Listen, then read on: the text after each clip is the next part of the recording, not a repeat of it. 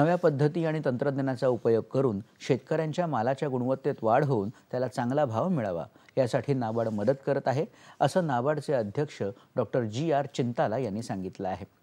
पुणे जिल्ह्यातल्या जुन्नर तालुक्यात वैष्णवधाम पारुंडे शेती उत्पादक कंपनीच्या कांदा साठवणूक आणि पवन सुविधा पणन सुविधा केंद्रावर महाओनियन मार्केट या उपक्रमाची त्यांच्या हस्ते सुरुवात झाली त्यावेळी ते बोलत होते.